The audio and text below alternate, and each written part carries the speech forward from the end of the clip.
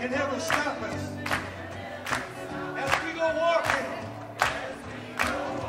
freedom highway,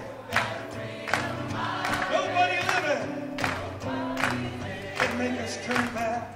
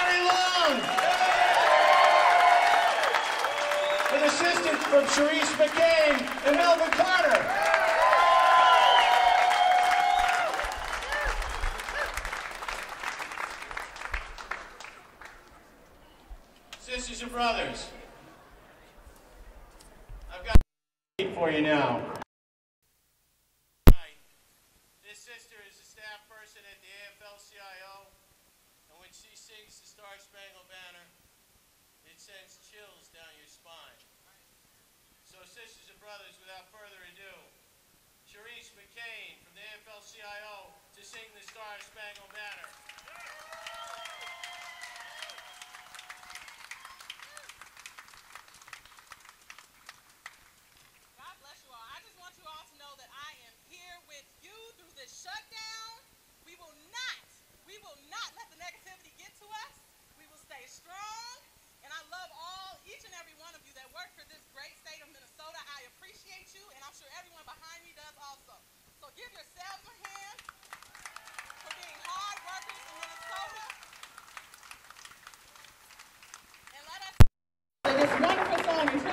Country.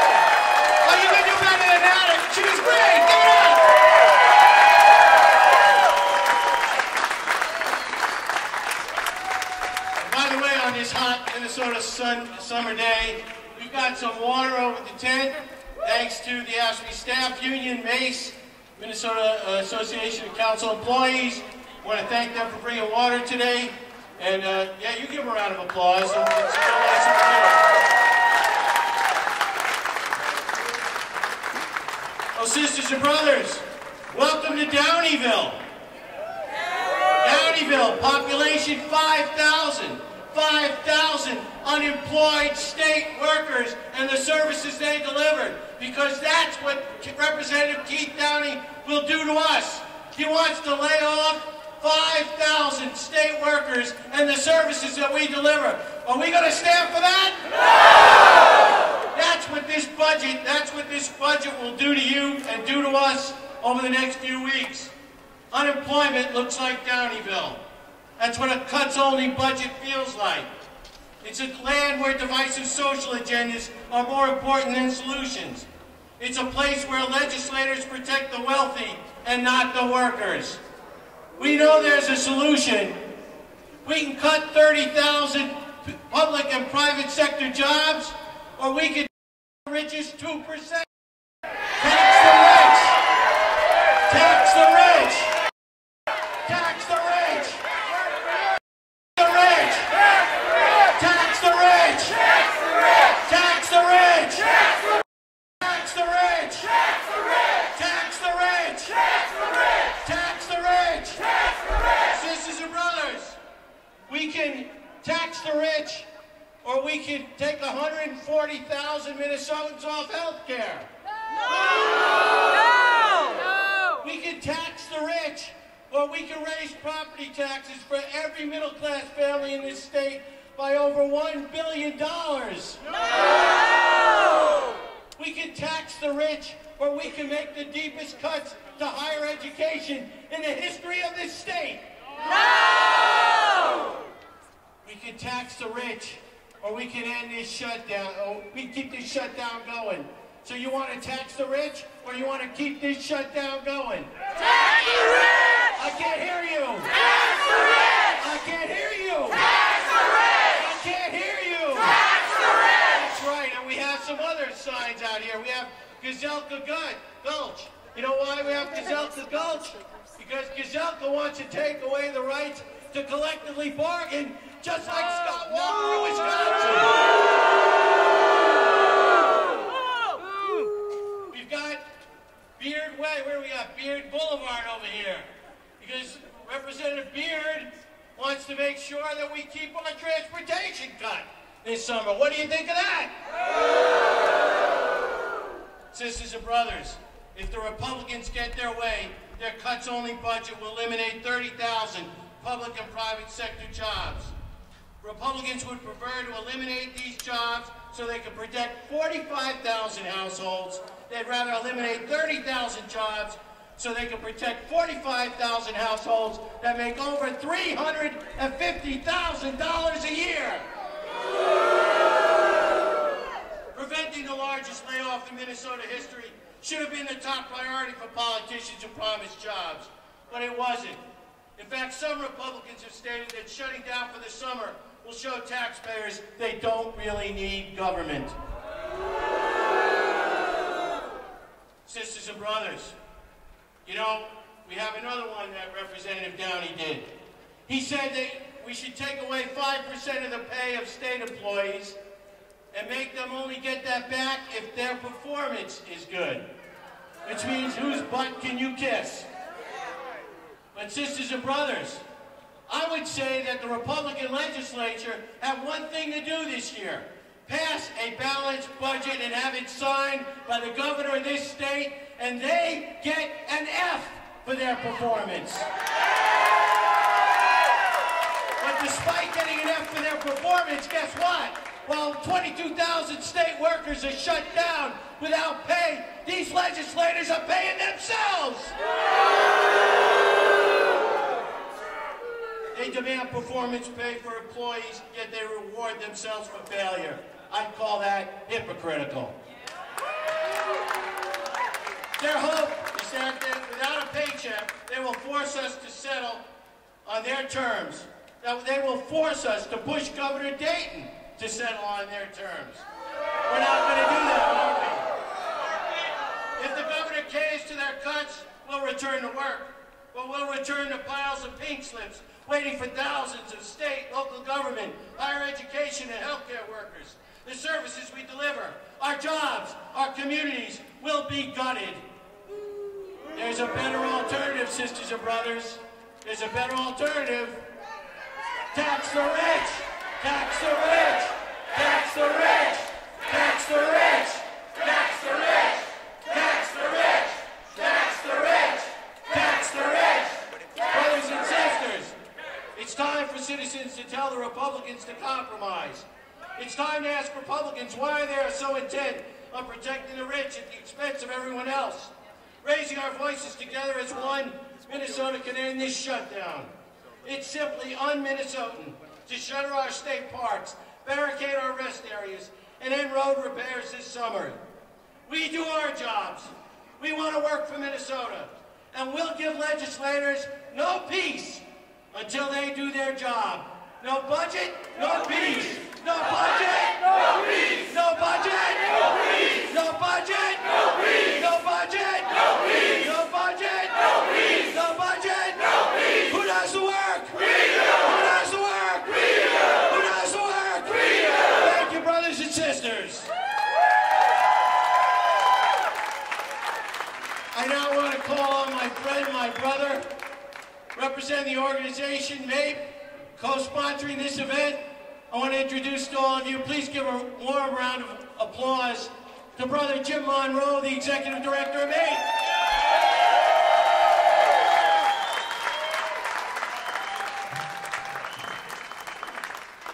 To all of you here, I want to thank you for coming out today.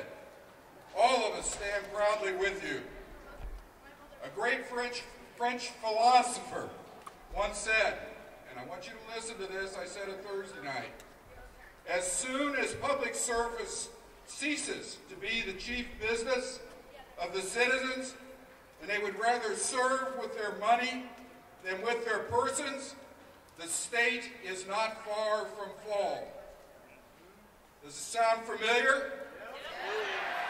Ladies, Ladies and gentlemen, and especially brothers and sisters, it truly should. We stand at a point in this state's history of either standing strong for the common good or allowing extreme special interests with a radical social agenda to destroy our middle class as we know it. State employees stand for the common good. Governor Dayton stands for the common good.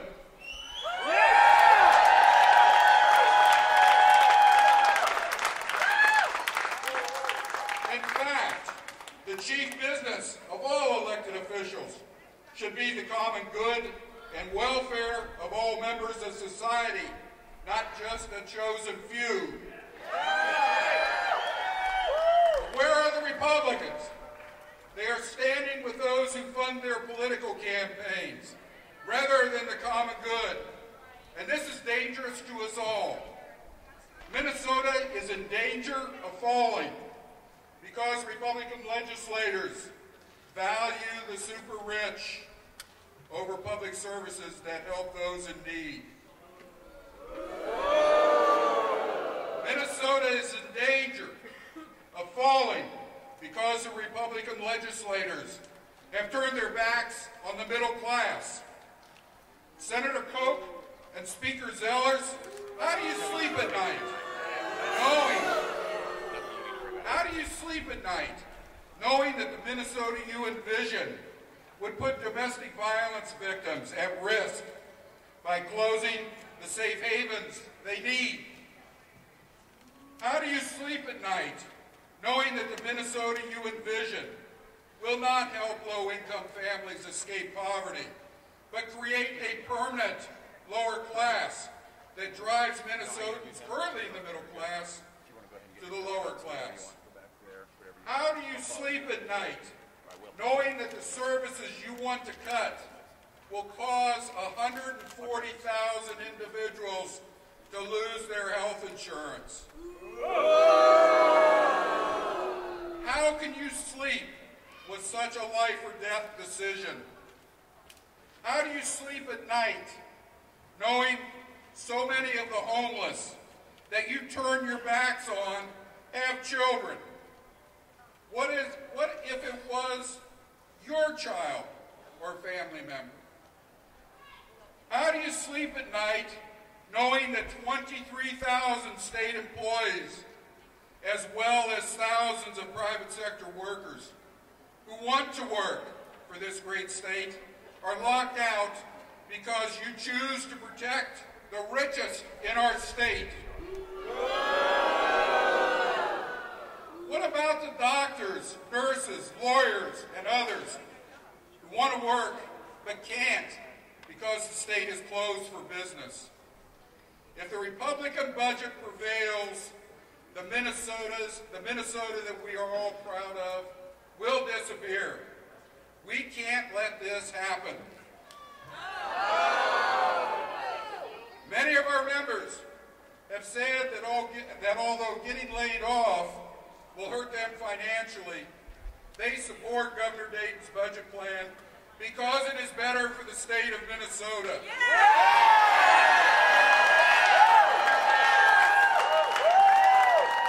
They believe in a state that works. And Minnesota works well when state employees are allowed to work. Stay strong, my brothers and sisters, and thank you for your sacrifices. I hope that this spirit of shared sacrifice will remind the Republicans of how important it is to put partisanship aside and work with Governor Dayton to find a balanced approach to this budget impasse. Thank you.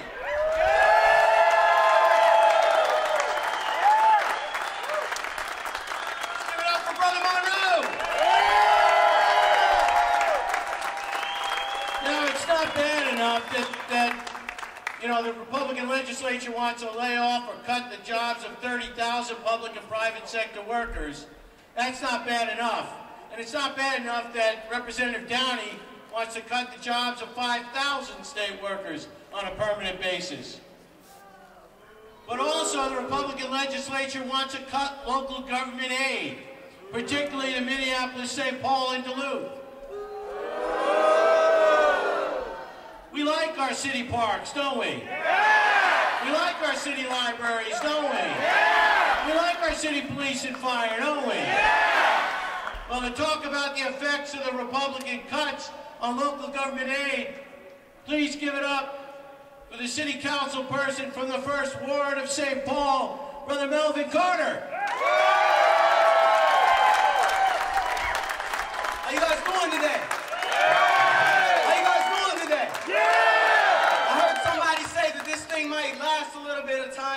It does, people will sort of lose their attention and lose their focus on this. Is that true? No! Are we gonna get tired of this? No! Is it gonna get too hot for us out here? No! Are we gonna be focused on this fight? Yeah! Thank you. My name is Melvin Carter, and I represent Ward 1 on the St. Paul City Council. And welcome to Downeyville. Do you enjoy it here? No! Downeyville is the kind of place that turns its back on the poor, on the sick, on the children, on the elderly. It's the kind of place where high property taxes cripple homeowners and small businesses. How do you like it? Well, I don't either. I learned from I learned from my parents what Minnesota's all about at a young age. From my school teacher mom, my police officer dad, who always held a home just eight blocks from where we are today, where anybody in need was always welcome. One day, after a homeless man had spent a couple of hours waiting out a thunderstorm in our living room, I asked my mother, how did he know to come to our house? And she explained to me about all the people in Minnesota, in our community, who had homes that were welcoming, that were willing to lend a hand to anyone who was in need. As an adult now, I realize that what makes Minnesota great is not just those individuals, but for the long time, for the generations, that we have set an example from this house here to build a Minnesota that truly puts its people first. And that's what I'm proud. I'm here today. I'm here today because I represent thousands of Minnesotans who can see this place from their homes. It's raining out and they're knocking on the door, but what does our Republican legislature have to offer? A locked door. Is that all right with you? No! Is that Minnesota? No! Do we want our state back? Yes! Listen, I know you know how bad this shutdown is. It's really bad and we're feeling it, we're feeling it already. But I want to tell you, if you want to see something even worse than this shutdown, all you have to do is look at the Republican budget proposal. That's right. Senator Linda Runbeck and her colleagues want to eliminate completely state aid to St. Paul, Minneapolis, and Duluth. If they succeed, if they succeed, their plan would leave us with closed libraries, locked rec centers, fewer police and firefighters, and even higher property taxes than we're already paying today. We deserve better. We deserve better. We deserve better, and we can afford it if the richest 2% will only pay their fair share.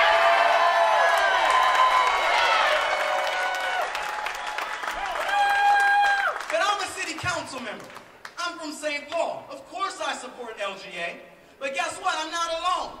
That's why we're joined in this fight by 12, 12 co- chambers of commerce around our state and mayors across the entire state of Minnesota who say this program has worked for 40 years, don't cut it, keep it moving, keep it serving the people of St. Paul uh, and Minnesota. I got one more thing to tell you and I'll be out of your way. I went to college and I learned in college that there are two kinds of freshmen. There are those kind who know that they're there based on the sacrifice of others and they buckle down and focus on executing well the task at hand. And then there's those who show no accountability for those who sent them there, who go and do anything they want to do, do anything they want to do instead of focusing on the task at hand. Now, for those of us who work hard, it can be sort of frustrating watching the other kind. You know, we spent a lot of time our freshman year telling them, you better get to work. We told them, you better get to work. And they thought they had no accountability, but guess what happened at the end of the term? Report cards came out, and they weren't invited back. We're here to tell our legislature that there's a report card coming. There's a report card coming. The people of Minnesota are watching. The hardworking people, the families, the elders, the children, the college students. We are watching you. There's a report card coming. You better get to work, or you won't be coming back.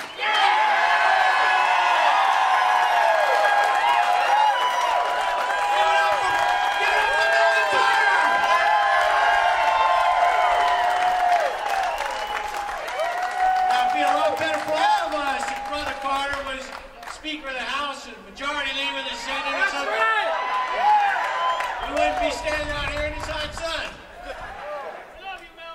Thank you, John Melvin. And by the way, person cut we got Runbeck Road down there. There's Runbeck Road right down here. You know, that's where it is. Runbeck Road. Cut local government. It's a road to nowhere. Sister brothers, Representative Downey says that even though we're the 10th leanest state in the nation, 10th leanest state in the nation for state employees, the 10th leanest state in the nation, we are the same as the radical state of Florida and the number of state employees per 10,000, but he wants to cut 5,000 more. He's called us beasts that have to be starved, and he said if you can find the work in the yellow pages, then state employees and public workers don't need to do it. Well, there's been someone standing up to him all session long. And the brother's name is Mike Lindholt. He plows our roads, maintains our roads. Sisters and brothers, a highway maintenance worker. Give it up for Mike Lindholt.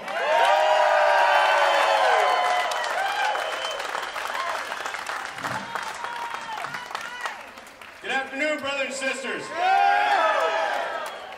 My name is Mike Lindholm, and I just wanted to be one of the people to welcome you to Downeyville. It is here where Representative Keith Downey is deemed to call us beasts. Beasts of government that he says need to be starved. Well, look around, brothers and sisters. Do you see any beasts here? No! The only beasts we see are in there. Yeah! Downeyville is a disgusting place where the jobs of 5,000 employees will be eliminated permanently. It is here where 22,000 of us were deemed unnecessary, unwanted, and laid off. Is here where our jobs, whether it be working for the DOT, DNR, or any other places that have closed their doors, we were told to go home and don't come back. It is here in Downeyville where Paul Wellstone's motto, when we all do better, we all do better, has been forgotten. Because look around, brothers and sisters, I don't think any of us are doing better right now. It is here in Minnesota nice has been erased. They are pitting neighbors against each other. Here where the richest 2% of Minnesotans are holding the other 90%, 98% hostage and causing irreparable harm to our lives. Well, I don't know about you, brothers and sisters, but this is not a place where I want to live, Downeyville. This is not where I want my children to live either. It's time for us all as one to stand up and fight back. We need to be heard. We need our legislator to tell them we want to work. We are not the problem, and we are most definitely not peace.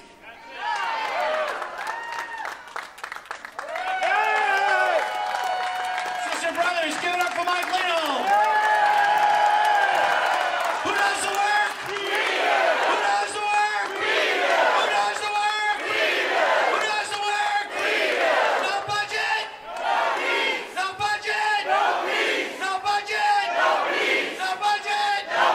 Sisters and brothers, we've got many pro-union, pro-public service legislators here, led by Representative Paul Thissen. including Representatives Leffler, Murphy, Gauthier, Clark, Fritz, Carlson, Kahn, Morrow, Mullery, Hornstein, Nelson, Johnson, Hausman, and many, many others. You know, sisters and brothers, when they shut down the state, when the Republican legislature shut down the state, they also shut down all the construction projects on the roads. And thousands of hard-working construction workers, unionized construction workers, had to go back to the bench. Sisters and brothers, I'm proud today to introduce to you the leader of the state building trades. He's going to talk about the impact of the shutdown on the private sector and the construction trades. Sisters and brothers, give it up for Harry Melander.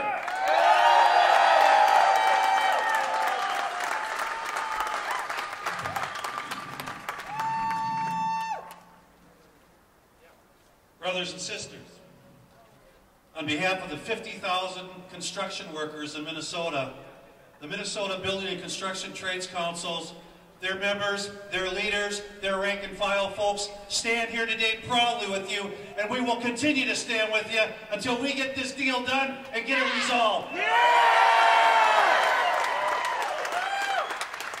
Brothers and sisters, we are a humble group of people.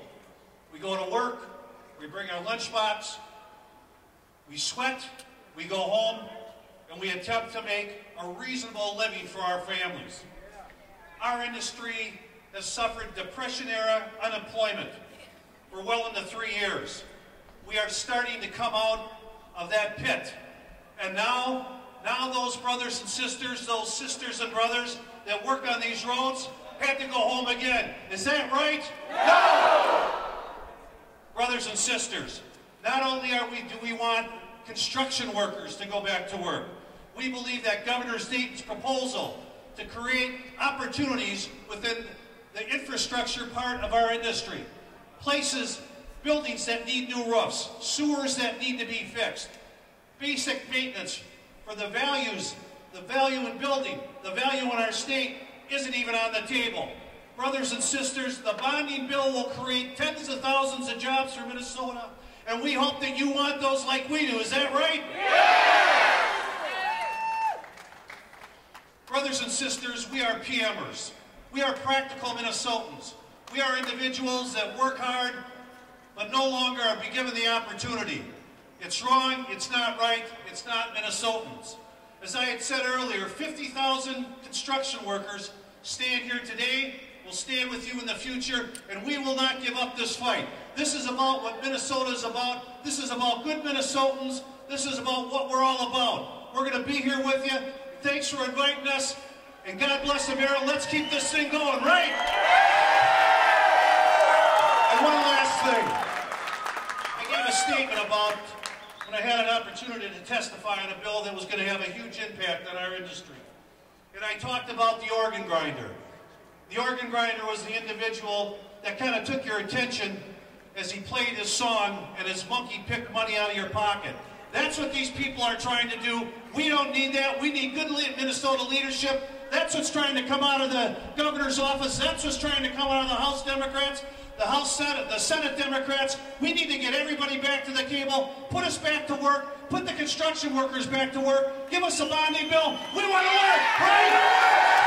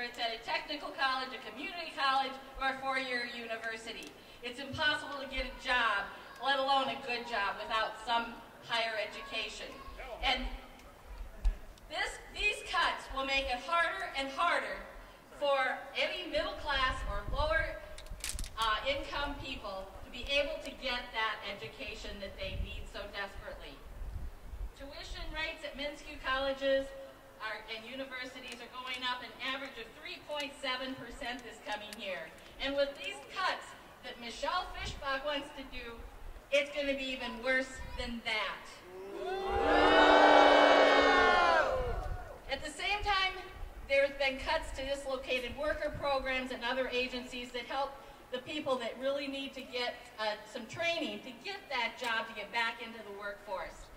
That causes our, our enrollments to decrease, and that cuts what our funding is even more. It's causing staff layoffs, and then they, we aren't there to help people with the services that they need to get through college.